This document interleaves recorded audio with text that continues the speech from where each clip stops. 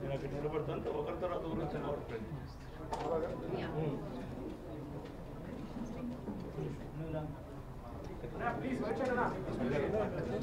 ఇవ్వండి,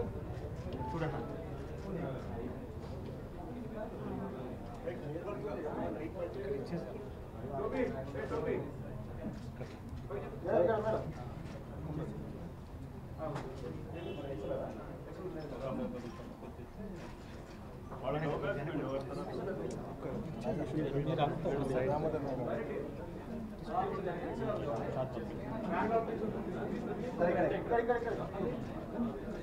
ఇచ్చారా? ఇచ్చారా మీరు క్లాత్ ఇచ్చారా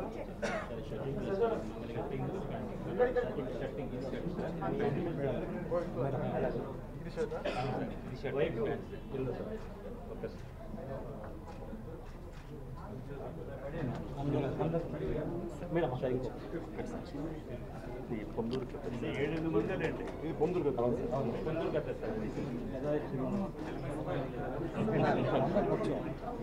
ప్లీజ్ అందరు కూర్చోండి. Please please. అందరు కూర్చోండి ప్లీజ్. పూర్తిగా లాస్ట్ మళ్ళీ ఒక్కసారి కూర్చోండి. అందరూ సార్ సార్. ఒక్కసారి వీళ్ళందరూ కూడా ఒక ఐదు పిల్లలు వీళ్ళు కూడా మీకు సెట్టింగ్ తీసుకొచ్చారు రండి రండి.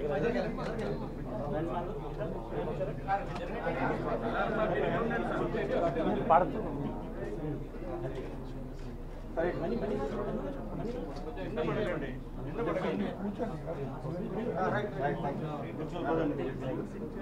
కింద పడి అందరూ కింద పోవాలి రా.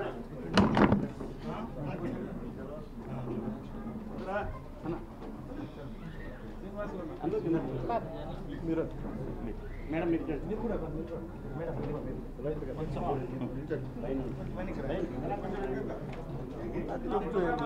అందరికీ నా హృదయపూర్వక నమస్కారాలు.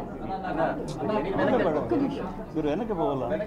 ఒకరి పక్కన చేనేత వృత్తి ఆధార ఆధారంగా జీవనం సాగిస్తున్న పద్దెనిమిది కులాలు కార్మికులందరికీ ప్రతి ఒక్కరికి జనసేన పార్టీ వారి తరఫున వారి సమస్యల్ని ఏమేమైతే ఉన్నాయో లోటుపో వాళ్ళకి ఎలాంటి సమస్యలు ఉన్నాయో వాటన్నిటిని ప్రభుత్వం దృష్టికి కానీ ప్రజల దృష్టికి తీసుకెళ్ళడానికి మేము ఒక బ్రాండ్ బ్రాండ్ అంబాసిడర్ కానీ కాకుండా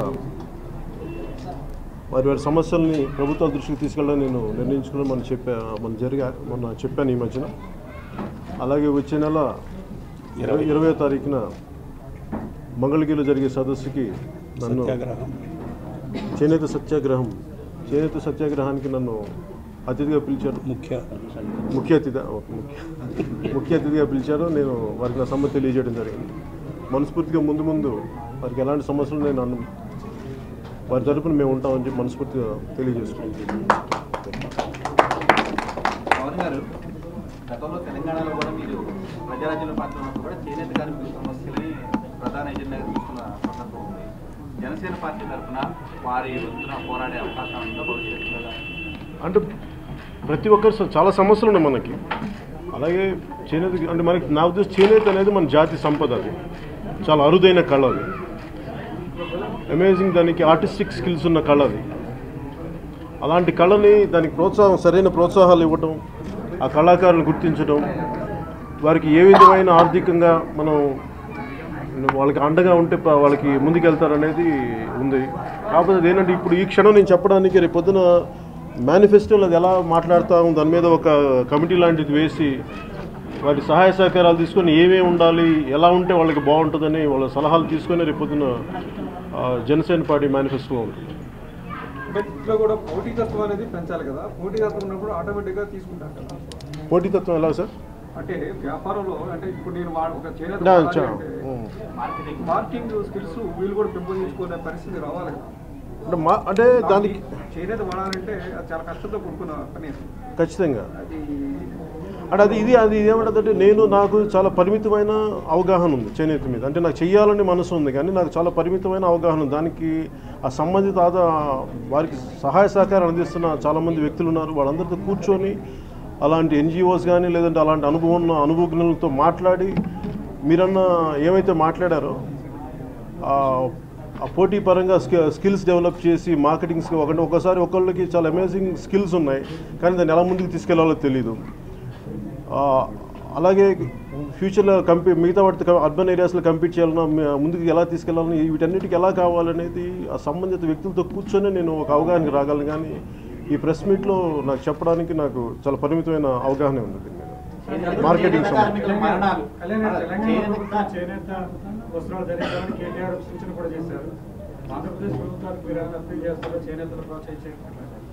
అంటే నేను అంటే ముందు ఏదైనా సరే నేను కొంత ఆచరించి ఏదైనా చెప్తే బాగుంటుంది. అందుకే నేను బ్రాండ్ అంబాసిడర్గా ఉంటానని చెప్పాను.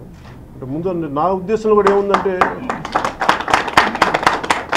నా ఉద్దేశంలో కూడా ఏముందంటే అంటే నేను ఇది ఇది కద్దరైన నాకు తెలియదు ఎట్లా నాకు అలాగే వారానికి ఒకసారి చేనేతను ధరించాలని నేను అనుకుంటున్నాను. కంపల్సరీ ఏ చేతితో ఉంది.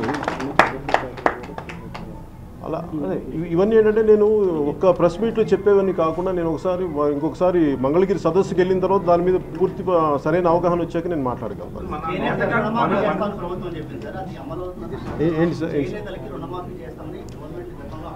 అంటే రుణమాఫీలు చేయాలని ప్రభుత్వాలకున్న ఎంతవరకు చేయగలరు అనేది మనం చాలా రకాల రుణమాఫీలు అనౌన్స్ చేశారు అన్ని ప్రభుత్వాలు అటు తెలంగాణలో కానీ ఇటు ఆంధ్రప్రదేశ్లో కానీ బట్ ఎంతవరకు వాళ్ళు సఫలీకృతులయ్యారో మనం ఒకసారి డేటా చూసే మనం మాట్లాడగలం. కానీ ఇప్పుడు మన మేబీ ఇంటెంట్ ఉండ ఉందేమో మరి ఎంతవరకు సాధ్యపడుతుందో నాకు తెలియదు సార్ వేల సంఖ్యలో చేనేత కార్మికులు ఆత్మహత్య చేసుకున్నారు. వాటికి సంబంధించి రెండు ప్రభుత్వాలు కూడా పెద్దగా సీరియస్గా తీసుకున్న పరిస్థితి. లేదు. కాబట్టి అంటే నేను ఒక ఇద్దరు ముగ్గురు అధికారులతో మాట్లాడినప్పుడు వా వాళ్ళు కూడా అనేక సమస్యలు చెప్పారు. వాళ్ళ తరపు నుంచి కొన్ని అనేక సమస్యలు చెప్పారు. నాకు అందుకని అనిపించింది ఏదో ఇది ఒక షార్ట్ సైటెడ్గా మాట్లాడే విషయం కాదు. దీన్ని కొంచెం లోతుగా పరిశీలించి దాని మీద మాట్లాడాల్సిన విషయం. సార్ గతంలో చేనేతలో మన నేతన్నలు తయారు చేసిన చీరలు అగ్గిపెట్టిలో పట్టేవి. అదేవిధంగా చాలా మసిలిన క్లాత్ ఎట్లీకి ఎక్స్పోర్ట్ అయ్యేది? క్రీస్తు పూర్వమే మన దేశం నుంచి. అలాంటి గొప్ప కళాకారులు ఉన్న మన దేశం ఇప్పుడు ఎక్స్పోర్ట్ చేయలేకపోతుంది చేనేత. గవర్నమెంట్ ఏమైనా దీనికి వాళ్ళకి ఆర్ఎండి పెట్టి డెవలప్ చేసి నాణ్యత పెంచి విదేశాలకు ఎక్స్పోర్ట్ చేసే విధంగా సాయం చేయాలని కోరుతాను అంటే అది ఇందాక వారు చెప్పినట్టుగా ఒక చాలా స్కిల్ ఓరియంటెడ్ కా ఇది ఎబిలిటీస్ కావాలి. అంటే దీనికి కొంత వాళ్ళు ఏమంటున్నారంటే మొన్న కూడా మనం మాట్లాడుతున్నప్పుడు ఇప్పుడు మామూలుగా ఒక కార్మికులు చేసిన బట్టనే మిగతా వాళ్ళు కొంచెం ఇంకొంచెం క్రియేటివ్గా మనకి ఫ్యాషన్ డిజైనింగ్ బ్యాక్గ్రౌండ్ నుంచి వచ్చిన వాళ్ళు దాన్ని కొంచెం ఇంకా అందంగా చేయగలుగుతున్నారు. అలాంటి స్కిల్స్ మాకు కూడా నేర్పిస్తే మా కార్మికులకు కూడా నేర్పిస్తే మేము ఇంకా మేము చేయగలం కదా డైరెక్ట్గానే మొన్న ఈ మధ్యన మాట్లాడుతున్నప్పుడు ఈ మాట వచ్చింది. అంటే గతంలో కూడా మిలాన్ ఇలాంటి చోటకి వెళ్ళినప్పుడు అక్కడ కొంతమంది కాశ్మీరీ గ్రూప్ని కలిశాను. వాళ్ళు ఏం చేస్తున్నారంటే అక్కడ కాశ్మీరీ ఆర్ట్ వర్క్ని కాశ్మీర్ టెపెస్ట్రీని వాళ్ళు అక్కడ ఎందుకు మీరు ఇక్కడికి వచ్చారంటే మేము ఇక్కడ ఫ్యాషన్ హౌసెస్కి మేము మా కాశ్మీరీ వర్క్స్ని మేము అమ్ముతాము ఎంబ్రాయిడరీస్ని వీళ్ళు అడుగుతారు అర్మాని ఇలాంటి డాల్చియన్ గబానా అనే ఫ్యాషన్ హౌసెస్కి అందు వాళ్ళకి సప్లై చేస్తూ ఉన్నారు. అలాగే మనకి అంత గొప్ప స్కిల్ ఉన్న ఉన్నది. మన అగ్గిపెట్టెలో ఇమిడిపోయేంత చీరలు చేయగలిగేంత కెపాసిటీ ఉండి దాన్ని మనం ఎందుకు తీసుకెళ్ళలేకపోతున్నాం? వాళ్ళకి ఏమేమి ఎలాంటి అవగాహన మనకి ఏమేమి లోపాలు ఉన్నాయి? దాంట్లో ఎలా సరిదిద్దుకోవాలి? ఎలా ముందుకు తీసుకెళ్ళాలనేది నిజంగా ఇంటర్నేషనల్ ఫ్యాషన్ హౌస్కి ఎలా తీసుకెళ్ళాలనేది ఒక సమిష్టిగా కూర్చొని అందరి సహాయ సహకారాలతో తీసుకెళ్ళగలిగారు. సో దాని దృష్టిలో జనసేన ఆలోచిస్తుంది. మొన్న మాట్లాడిన మాటలకి అధికార పార్టీ కొంతమంది మిమ్మల్ని తీవ్ర స్థాయిలో కౌంటర్ ఇచ్చిన పరిస్థితి. దానికి మిగతా వాళ్ళు కానీ మాట్లాడారు. సార్ పార్లమెంట్ సమావేశాలు ప్రారంభమైనాయి కదా ఎం- ఏపీ ఎంపీకి స్పెషల్ స్టేటస్ గురించి పోరాడాలని మళ్ళీ ఏమైనా మీరు అప్పీల్ చేసేటటువంటి అవకాశం ఉంది? వాళ్ళు మొండికి ఎత్తేసారు కదండి వాళ్ళు మొండికి ఎత్తిన వాళ్ళతో నేనేం మాట్లాడాను? మొండి వాళ్ళు రాజు కంటే బలవంతులు అంటారు కదా. మరి వాళ్ళు అంత మొండికెత్తి వాళ్ళు మేము రాజుల కంటే బలవంతులు అని చెప్పినప్పుడు మరి ప్రజల తాలూకు మొండితనం చూపించాల్సి వస్తుంది. అంతే.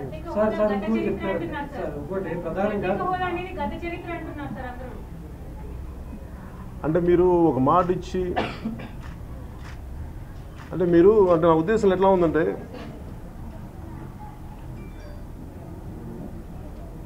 ఇప్పుడు పార్లమెంట్లో మీరు చట్టాలు చేసి చట్టసభలు అది అసెంబ్లీలో కావచ్చు పార్లమెంట్లో కావచ్చు మీరు చట్టసభల్లో మీరు చట్టాలు చేసి ప్రజలను పాటించమంటారు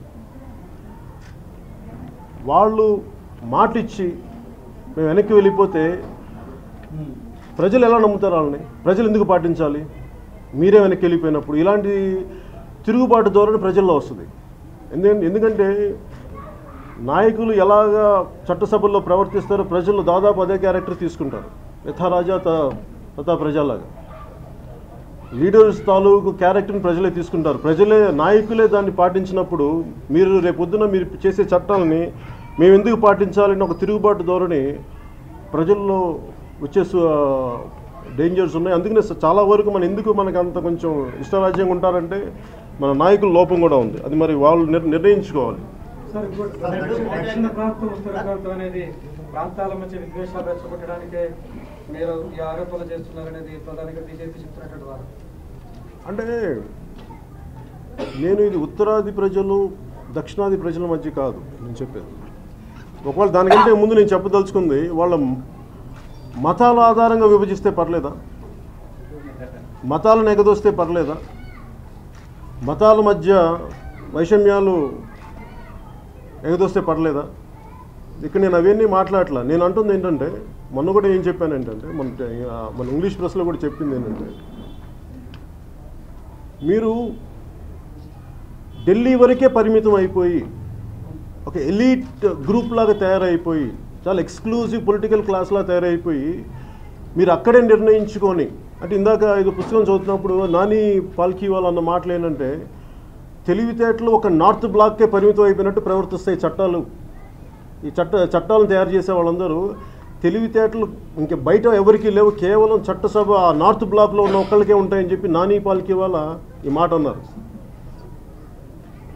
అంటే నేనంటే మీరు ఒక సమస్యని మీరు ఒక చట్టాన్ని తీసుకొచ్చేటప్పుడు చాలా సమస్యలు ఉంటాయి.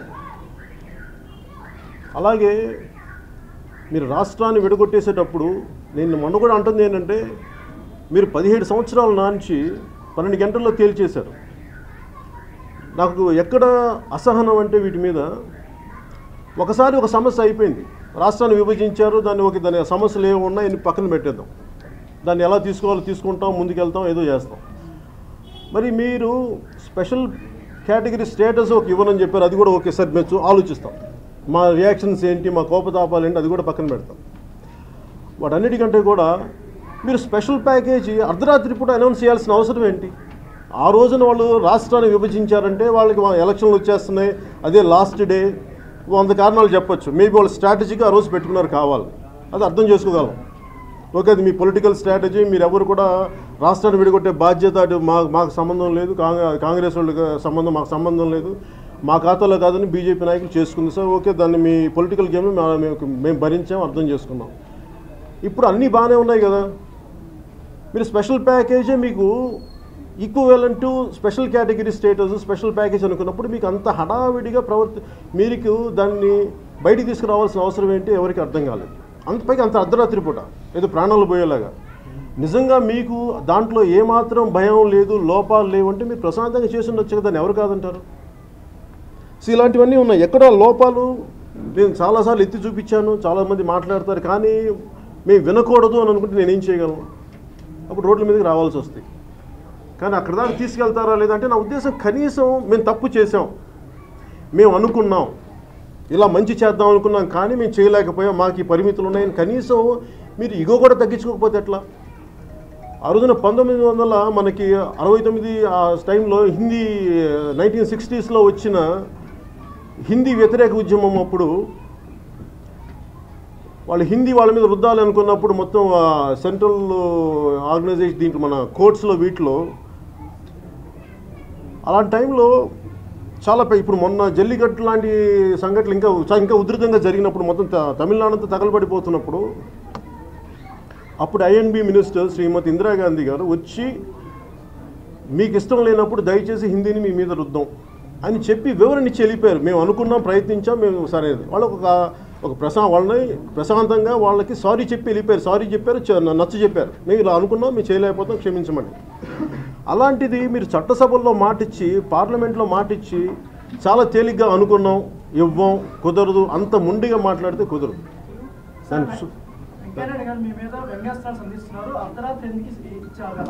మీరు క్వశ్చన్స్ కదా ప్రభుత్వం ఇరవై నాలుగు గంటలు పనిచేస్తుంది. అది మా ఇది అని చెప్తున్నారు. మీ మీద కొన్ని కామెంట్స్ కూడా చేశారు. ట్విట్టర్కే పరిమితం అయిపోతే మరి వాళ్ళకి మేము ఎందుకు చేసామని మరి మరి కన్వీనియంట్గా మర్చిపోయారా? వాళ్ళ పక్కన తిరుగుతున్నప్పుడు ఏంటి కన్వీనియంట్గా మీకు మీ పక్కన తిరుగుతున్నప్పుడేమో మీరు మర్చిపోయి ఈ రోజున ట్విట్టర్కే పరిమితం అయిపోయాను అనుకుంటే కనీసం నేను ఏదో ఒక ట్విట్టర్లోనే మాట్లాడుతున్నా కానీ మన ఎంపీలు పార్లమెంట్లో కూర్చొని అక్కడ కూడా మాట్లాడలేదు అని నిర్ణయం చేయమంటారు?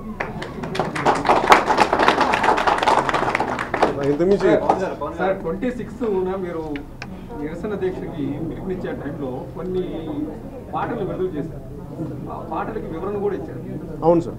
దానికి ఒకటి ఏంటంటే ఒకటి రా రామాయణం కోసం ఇచ్చేసినప్పుడు జరిగిన హత్యలు గోద్రా గోద్రా కారణాలు అమానుషంగా సజీవ దహనాలు వీటి గురించి చెప్పారు. అటువంటి పార్టీతో మీరు ఎట్లా మరలా మీరు పొత్తు పెట్టుకోగలిగారు? వాళ్ళ తరఫున ఎట్లా ఓటేయమని అడిగారు? కదా అది మీకు అమానుషం అనిపించలేదు కదా? ఇప్పుడు ఉన్న పార్టీలు కాంగ్రెస్ కానీ మీరు అలా తీసుకుంటే సార్ అందరూ అమానుషమే. కాంగ్రెస్ తీసుకుంటే సిక్కులు ఊచకోతుంది. అది నాయకులు చేసింది కాదు కదా. ప్రజలు ఆ సమూహంలో నాయకులు ఆ రోజు ప్రభుత్వాలు వారి ఉన్నాయి. వారి ఆధ్వర్యంలో జరిగిన వీటన్నిటికంటే నేను అనేది ప్రభుత్వాలు వారివి. ఆ టైంలో గొడవలు జరిగినాయి. నేను దాన్ని అంతే చూస్తున్నాను. నిజంగా ఒక పరిపూర్ణమైన ప్యూరిటానికల్ సొసైటీ కావాలంటే ఈరోజు ఎక్కడుంది? ఉన్న వాటితో ఇది మనకు దొరికింది ఇది దీన్ని మనం సరి చేసుకుంటాము మనం కరెక్ట్ చేసుకుంటాము దీంతో వెళ్ళాలి. ఇవన్నీ నేను తెలియక కాదు ఉన్న మనకి ఉన్న చాయిస్లో ఇదే చాయిస్ ఉంది. కాంగ్రెస్ తోటి ముందుకు వెళ్ళలేము నేను ఆ రోజున బీజేపీకి ఎందుకు మనస్ఫూర్తిగా మద్దతు పలికానంటే ఎప్పుడైనా మనుషులు తప్పు ఎప్పుడైనా సరే సరిదిద్దుకునే అవకాశాలు ఉంటాయి అనుకుంటాను నేను ఎప్పుడు.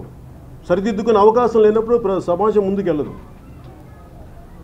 ఎందుకంటే బందిపోటుగా ఉన్న పులందేవి శ్రీ పు- పుల చనిపోయి పులందేవి. గారిని పార్లమెంట్ దాకా మనం తీసుకెళ్ళగలిగినప్పుడు అలాగే వినోబా లాంటి వాళ్ళు మల్కన్ సింగ్ని లో ఆయనకి ఆయుధం వదిలేసి సరెండర్ అయిపోయినప్పుడు ఆ క్షమాగుణం అనేది మన దే మన దేశంలో ఉంది. అర్థం చేసుకోవటం అనేది.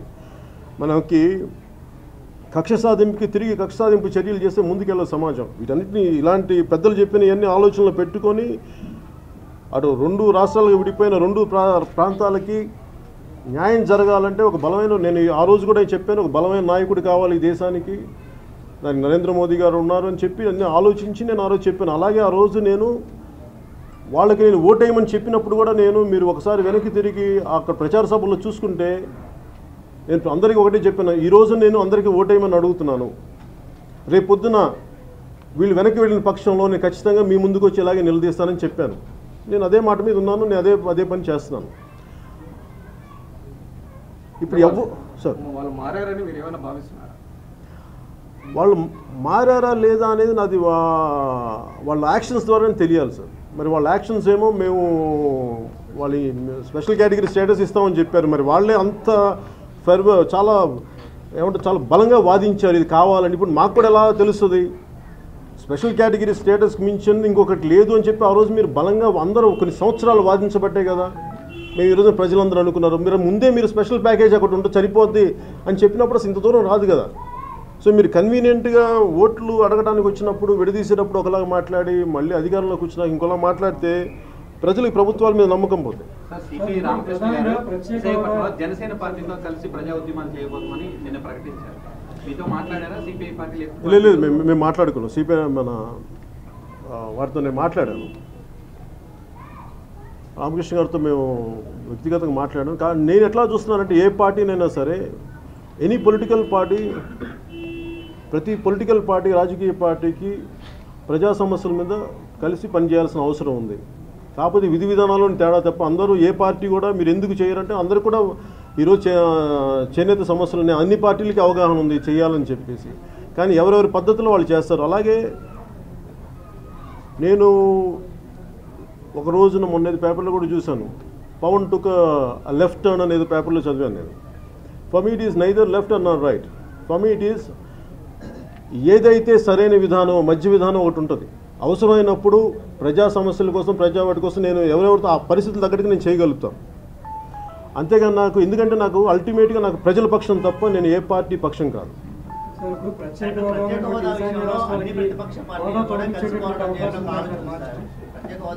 అన్ని పార్టీలు కలిసి పోరాటం చేయాలనేది అన్ని పార్టీలు చెప్పుకోండి కానీ ఏ పార్టీ ముందుకు రావట్లేదు. అంటే నేను అన్నిటినీ ముందుకు తీసుకెళ్దాం అంటే నాకు అంత అనుభవం లేదు. ఎందుకంటే నేను అంత నాకు ఉన్నది చాలా తక్కువ అనుభవం. కానీ అనుభవజ్ఞులు చాలా మంది ఉన్నారు. వాళ్ళు ముందుకు వస్తే నేను దాన్ని బట్టి ఆలోచిస్తాను.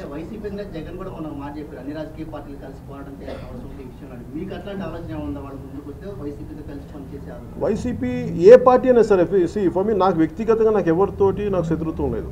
నేను ప్రతిసారి అదే చెప్తాను నాకు వ్యక్తిగతంగా ఎవరితో చేయడానికి నాకు విముఖత లేదు. నాకు ఎవరితో చేయగలను కానీ ఆ చిత్తశుద్ధితో చేయాలి. నేను అలాంటి వాళ్ళతో చేయడానికి సిద్ధంగా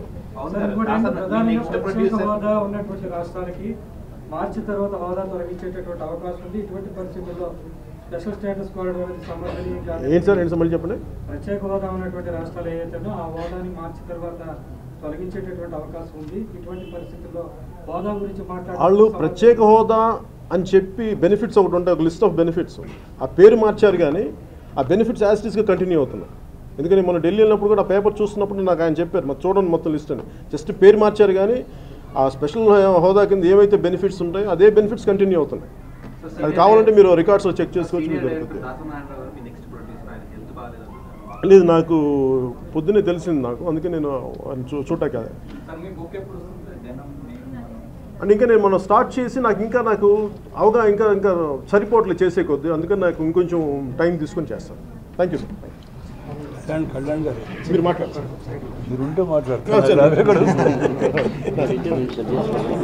మీరు మాట్లాడతారు. కొంచెం వెనక్కుంటే సో నమస్కారం. ఆంధ్రప్రదేశ్ పద్మశాలి సాధికార సంఘం తరఫున ఇవాళ మా చేనేతకు చేనేతకు బ్రాండ్ అంబాసిడర్గా స్వచ్ఛందంగా మాకు సహాయం చేస్తాను వచ్చినటువంటి జనసేన అధినేత శ్రీ పవన్ కళ్యాణ్ గారికి కృతజ్ఞతలు తెలియజేస్తూ ఆ బ్రాండ్ అంబాసిడర్షిప్ను కంటిన్యూషన్లో భాగంగా ప్రథమ స్టెప్గా మొదటి మెట్టుగా ఇవాళ ఆంధ్రప్రదేశ్లో తయారైనటువంటి వివిధ చేనేత రకాల వస్త్రాలను కూడా కళ్యాణ్ గారికి ప్రజెంట్ చేయడం జరిగింది. దాన్ని వారు డ్రెస్అప్ చేసుకొని తర్వాత వచ్చేసి చేనేత పరిశ్రమ ప్రోత్సాహ ముఖ్యంగా మార్కెటింగ్. చేనేత పరిశ్రమలో ఇవాళ కొరవడింది ఏంటంటే ఉత్పత్తి కాదు. ఇది రాష్ట్రంలో సుమారు అరవై డెబ్బై రకాల వస్త్రాలు ఉత్పత్తి అవుతున్నాయి చేనేతకాల మీద. అయితే వాటన్నిటిని ఏ విధంగా మార్కెటింగ్ చేయాలనే దాని మీద సమస్య ఎక్కడంటే మనం ఇవాళ గ్లోబల్ మార్కెట్లో కార్పొరేట్ సెక్టర్తో పోటీ పడాల్సిన అవసరం ఉంది ఇక్కడ. అన్ని యొక్క మిగతాటువంటి పవర్ లూమ్ సెక్టర్ కానీ మిల్ సెక్టర్లో కానీ వాళ్ళకి మార్కెటింగ్ చేసుకోవడానికి చాలా పెద్ద వ్యవస్థలు ఉంటున్నాయి చాలా గొప్ప టెక్నిక్స్ ఉంటున్నాయి.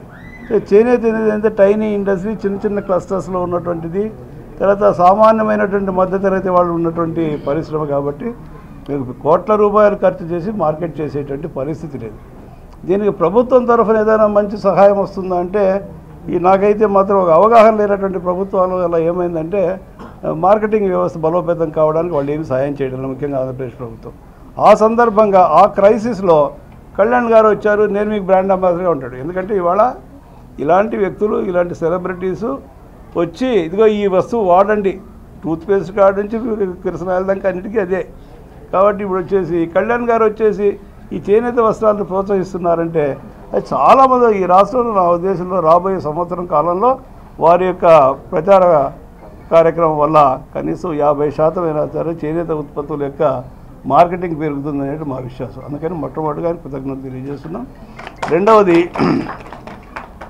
ముఖ్యంగా ఈ రాష్ట్ర ప్రభుత్వంలో చేనేత సమస్యల మీద సంపూర్ణమైన అవగాహనతో చేనేతను పూర్తిగా రక్ష సహకారం చేయాలా పూర్తిగా దీన్ని సంరక్షించాలనేటువంటి పట్టుదల ముఖ్య ఇక్కడ ఉన్నటువంటి రాష్ట్ర ప్రభుత్వానికి లేదనేది వాస్తవం. ఎందుకంటే నిన్న కూడా ముఖ్యమంత్రి గారు ముఖ్యంగా పవన్ కళ్యాణ్ గారు ఈ ఫీల్డ్లోకి వచ్చి మాకు సాయం చేస్తారు? అన్నందువల్ల దాని ఇంపాక్ట్ ఏమిటంటే అంతవరకు మాతో మూడు నెలలైనా ఆరు నెలలైనా అసలు సమీక్షలు చేయనటువంటి మంత్రివర్గం ముఖ్యమంత్రి గారు నిన్న మంత్రి గారి ద్వారా సచివాలయంలో ఒక సమీక్ష చేయించాడు.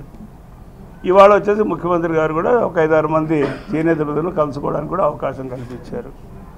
సరే అల్టిమేట్గా వచ్చేసి ధనాలు ఏదైనా ప్రయోజనం అంటే మొదటి స్టెప్ మొదటి విజయం ఏదైనా ఉంది అంటే ప్రభుత్వం వచ్చి కనీసం చేనేత కార్మికుల యొక్క వాయిస్ వినడానికి వాళ్ళ కష్టాలు వినడానికైనా పది నిమిషాల సమయాన్ని కేటాయించడం అనేది అది మొదటి విజయం కళ్యాణ్ గారిది ఇది. ఇక రాబోయే రోజులు ఎలా ఉంటాయనేది నేను కొంత భవిష్యత్తు గురించి కూడా నేను ఆలోచన చేసే ప్రకారం చెప్తున్నాను నేను. ఇవాళ ఈ రాష్ట్రంలో లాస్ ఈ రాష్ట్రం వచ్చాక అంతకుముందు సంగతి పక్కన పెడదాం. అంటే ఈ రాష్ట్రం ఏర్పడి రెండు వేల పద్నాలుగులో ఏర్పడిన తర్వాత ఆంధ్రప్రదేశ్ ప్రభుత్వం రెండు వేల పద్నాలుగు పదవిలో కేవలం నలభై ఐదు కోట్ల రూపాయలు బడ్జెట్ చేరైతే ఖర్చు పెట్టింది. అందులో సగము జీతభత్యాలకి ఇది ఇరవై ఐదు కోట్ల రూపాయల ఖర్చు కేంద్ర ప్రభుత్వం పెట్టినటువంటి పథకాల్లో వీళ్ళ భాగస్వామ్యం. లాస్ట్ ఇయర్ మళ్ళీ నూట పన్నెండు కోట్లు చేసింది నూట పన్నెండు కోట్లు మళ్ళీ తొంభై కోట్ల రూపాయలు పవర్లూమ్ సెక్టర్కి ఇచ్చింది. అది కూడా మాతోనే కలిపేసి అన్నింటినీ కలిపి లెక్క చెప్పారు. కేవలం ఇరవై ఐదు కోట్ల రూపాయలే చేనేతకు పెట్టారు. మేము అడుగుతున్నది ఏంటంటే ఇవాళ రాష్ట్రంలో ఐదు లక్షల మంది చేనేత కార్మికులు చీమకాల మీద పడి ఆధారపడితే ఈ చేనేత కులం గురించి చెప్తారు కనీసం ఒక మనిషికి వెయ్యి రూపాయలు ఖర్చు పెడితే ఏమొస్తుందండి? ఏం పథకాలు మీరు ప్రారంభించగలుగుతారు? మేము అందుకే డిమాండ్ చేస్తున్నాం. కనీసం ఒక మొగ్గానికి పదివేల కోట్ల పదివేల రూపాయలైనా సరే మీరు పెట్టుబడి కింద పెట్టండి. అంటే రాష్ట్ర బడ్జెట్లో కనీసం ఐదు వందల కోట్ల రూపాయలైనా చేనేతకు మీరు ఖర్చు పెట్టాల్సిన అవసరం ఉందని చెప్తున్నా. ఎందుకంటే వీళ్ళన్నింటి పక్కన రాష్ట్రాలతో కంపేర్ చేసుకుంటుంటారు. తమిళనాడు ప్రభుత్వం ఆరు వందల కోట్ల రూపాయలు హ్యాండ్లూమ్ బడ్జెట్ ఖర్చు పెడుతున్నది. అట్లాగే ఫ్రీ డిస్ట్రిబ్యూషన్ సిస్టమ్ ఇప్పుడు ఏదైతే మన వాళ్ళు జనతా క్లాత్ జనతా క్లాత్ అంటున్నారో అట్లాంటి ఫ్రీ డిస్ట్రిబ్యూషన్ సిస్టమ్ కోసం తమిళనాడు ప్రభుత్వం ఆరు వందల కోట్ల రూపాయలు ఖర్చు పెట్టి పేదవాళ్ళందరికీ జనతా క్లాత్ ఇచ్చేసి ఫ్రీగా ఇస్తున్నది. అట్లాగే దానివల్ల లాభం ఏంటంటే కనీసం అంటే ఒక లక్ష మంది లక్షన్నర మందికి చేనేత కార్మికులు మూడు వందల అరవై రోజులు పని కల్పించేటువంటి పరిస్థితి ఉంది. మరి ఇవన్నీ పక్కన వాళ్ళ గురించి మనం కాపీలు కొడుతున్నప్పుడు చేనేత బడ్జెట్లో కూడా కనీసం అంటే ఒక వెయ్యి కోట్ల రూపాయలు ఖర్చు పెట్టాలి కదా అది డిమాండ్ చేస్తున్నాం మేము. అట్లాగే చేనేత వృత్తిని వదిలిపెట్టి వెళ్ళిపోతున్నటువంటి కార్మికుల కుటుంబాలు ఉన్నాయి. వాళ్ళు వేరే ఆధారం లేదు వాళ్ళకి. ఈ వృత్తిలో బతకలేరు బయట వృత్తిలో ముందెక్కుకు రాలేరు. మేమేం అడుగుతున్నాము? అరే ఒక రిహాబిలిటేషన్ ప్యాకేజ్ ఇవ్వండి. మీరు అందరికీ నిర్వాసితులందరికీ రిహాబిలిటేషన్ ప్యాకేజ్ ఇస్తున్నారు. వాళ్ళ పది రూపాయలు ఖర్చు పెడుతున్నారు. బ- బయటికి పోయి బాగుపడండి. అయ్యో బాబు నేను మగ్గంలోంచి బతకలేను. నేను బయటికి పోతాను అనేవాడు మీరు మాకు వచ్చేది ఒక లక్ష రూపాయలు ఆర్థిక సాయం ఎందుకు చేయకూడదు? అందుకని రాష్ట్ర ప్రభుత్వం కూడా ఏం చేయాలంటే అరే మీరు బతకలేకపోతే ఆ మగ్గం గుంతలో పడి బతకండి అని మేమేం నిర్దేశించము. మీరు బయటికి రండి మీకు ఒక లక్ష రూపాయలు ఆర్థిక సాయం చేస్తాం మీకు చేతనైన వ్యాపారం పెట్టుకోండి అని ఒక రిహాబిలిటేషన్ ప్యాకేజ్ పెట్టాలనేది మా మెయిన్ డిమాండ్. అట్లాగే చేనేత కులాల్లో ఉన్నటువంటి పిల్లలందరికీ ఆర్థికంగా వెసులుబాటు కావాలి. వెసులుబాటు కావాలంటే మాకు చదువుకోవడానికి తెలివితేటలు ఉన్నాయి కానీ చదువును పొద కొనసాగించుకోవడానికి కార్పొరేట్ విద్యను అనుభవించడానికి తర్వాత వచ్చేసి మాకున్నటువంటి సీట్లలో ప్రొఫెషనల్ కాలేజీలో సీట్లలో వస్తే కూడా చదువుకోలేనటువంటి ఆర్థిక దుస్థితి ఉంది. నేను దానికి కూడా ఏం చెప్తున్నా అంటే ఇవాళ వచ్చేసి మీరు కాపులకు పెట్టారు. తర్వాత ఇతర కులాలందరికీ కూడా మీరు కార్పొరేషన్స్ పెట్టి డెవలప్ చేస్తున్నారు. మీరు ఎవరు డెవలప్ చేసినా మాకు అసూయ ఏమీ లేదు. మేము చెప్పేది ఏంటంటే అది మేము కూడా అన్యాయం అయిపోయినటువంటి కులం డిప్రెస్డ్ కమ్యూనిటీ డిసడ్వాంటేజ్డ్ కమ్యూనిటీ కాబట్టి ఈ చేనేత కులాల్లో ఉన్నటువంటి అతి పేదలు ఉన్నారు. అది తెలివితేటలు ఉండి కూడా అవకాశాలు చేజిక్కించుకోలేనట్టు ఉండాలి. అవకాశాలు రాకుండా మీరు తోసేయకుండా మాకు కూడా వచ్చేసి సాయం చేయడానికి అలాంటి కార్పొరేషన్ ఒకటి పెట్టండి ఒక ఐదు వందల కోట్ల రూపాయలు వెయ్యి కోట్లు కూడా ఐదు వందల కోట్లతో పెట్టండి. దానివల్ల ఏంటంటే మా దాంట్లో కూడా ఉన్నటువంటి పేదవాళ్ళందరికీ కూడా అంతో ఇంత ఆర్థిక వసతి కలుగుతుంది అనేది ఒకటి. ఇంక అన్నిటికంటే అన్యాయమైంది ఏంటంటే వడ్డించేవాడు మనవాడైతే ఎక్కడున్నా మనకు అందుబాటులోకి వస్తాయి వస్తు తిండి పదార్థాలన్నీ కూడా. కానీ ఇక్కడ దురదృష్టం ఏంటంటే చేనేత ఈ రాష్ట్రంలో కనీసం పద్నాలుగు పదిహేను శాతం ఉన్నటువంటి అతిపెద్ద కమ్యూనిటీ చేనేత కులాలన్నీ కలిపితే కానీ అంత పెద్ద అంటే యాభై అరవై లక్షల మంది ఉన్నటువంటి చేనేత వర్గాలకి ఇవాళ శాసనసభలో కానీ శాసన మండలిలో కానీ ఒక ప్రతినిధి కూడా లేదు. దానివల్ల డిసడ్వాంటేజ్ ఏంటి అని అడగచ్చు. మేము ఇవాళ మా సమస్యలన్నీ ఏదైనా చెప్పుకుందంటే శాసనసభలోనూ మాకు దిక్కు లేదు. అట్లాగే శాసన మండలిలోనూ మాకు దిక్కు లేదు. ఎక్కడ పోయి చెప్పుకోవాలి మేము? కాబట్టి ఇందాక వారు అన్నట్లుగా రోడ్డు మీద కూర్చొని అరవడం తప్ప మాకు వేరే మార్గం లేదు. అందుకని ఇవాళ సత్యాగ్రహం ప్రారంభిస్తున్నారు. కానీ రాజకీయ పార్టీలందరికీ బాధ్యత ఏంటంటే ఏదైనా ఒక పెద్ద కమ్యూనిటీ ఒక పెద్ద వర్గం అనేటువంటి వాటికి చట్టసభల్లో ప్రాతినిధ్యం లేకపోతే మీరు పార్టీల తరఫున మాకు అవకాశం కల్పించాల్సిన బాధ్యత రాజకీయ పార్టీలకు ఉందని చెప్పి మేము మనవి చేస్తూ వచ్చాం. ఇవాళ ముఖ్యమంత్రి గారిని కూడా మేము మనవి చేస్తున్నాం. మీరు తప్పనిసరిగా వచ్చేసి చేనేత కులాల నుంచి ఒకరికి ఎమ్మెల్సీగా తీసుకొని మీ క్యాబినెట్లో స్థానం ఇవ్వండి. మంత్రివర్గంలో స్థానం ఇవ్వండి. దానివల్ల రాజకీయాల్లో మేము పూర్తిగా అంతరించిపోకుండా మేము కూడా మా వాయిస్ని వచ్చేసి మా కష్టాలు చెప్పుకోవడానికి శాసనసభలో శాసనసభలో క్యాబినెట్లో కూడా మాట్లాడుకోవడానికి అవకాశం ఉంటుందనేటువంటి విషయాన్ని ఆ దృష్టికి తీసుకెళ్ళాం. అట్లాగే మేము కోరేది ఏంటంటే రాబోయే బడ్జెట్లో కనీసం వెయ్యి కోట్ల రూపాయలు చేనేత సంక్షేమానికి కానీ చేనేత వృత్తిని కాపాడడానికి కానీ మీరు ఖర్చు పెట్టాలనేటువంటిది ఒకటి మేము మాట్లాడుతున్నాం. అన్నిటికంటే ఇంకోటి ముఖ్యమైనది ఏంటంటే ఈ యొక్క చేనేత వర్గంలో ఉన్నటువంటి వాళ్ళు ఆరోగ్య రీత్యా బలహీనంగా ఉంటున్నారు బలహీనంగా ఉంటున్నారు. మేము ఒకటి కోరాం. ప్రతి చేనేత గర్భిణీ కూడా ఆమె ఆహార పోషణ నిమిత్తం కానీ మందుల కోసం కానీ పుట్టబోయే బిడ్డ యొక్క ఆరోగ్యం గురించి కానీ కనీసం పన్నెండు వేల రూపాయలు ఒక పథకం ప్రకారం వచ్చేసి మాకు ఒక రెండు కానుపులకి ఇవ్వండి. ఇది తమిళనాడు కూడా ఇది అమలు జరపబోతున్నది. కాబట్టి చేనేత మహిళలకి గర్భిణీలుగా ఉన్నప్పుడు వాళ్ళకు పన్నెండు వేల రూపాయలు ఆర్థిక సహాయం చేయండి. దీనివల్ల మా యొక్క సమాజంలో ఉన్నటువంటి వాళ్ళంతా కూడా అభివృద్ధిలోకి వస్తారనేటువంటి విషయాన్ని మేము మనవి చేస్తున్నాం. మాకేంటంటే ఇవాళ వచ్చేసి పవన్ కళ్యాణ్ గారు మాకు వాయిస్ ఇస్తున్నాడు ఆయన చెప్పిన మాటలకు వచ్చేసి దేశంలో సమాజంలో చాలా విలువ ఉంటున్నది. కాబట్టి ఆయన మొట్టమొదటిగా మేము కృతజ్ఞతలు తెలియజేయడమే కాకుండా ఆయన మాకు సత్యాగ్రహానికి వస్తున్నందుకు కూడా మేము ఆయనకు మనసారా అభినందిస్తున్నాము.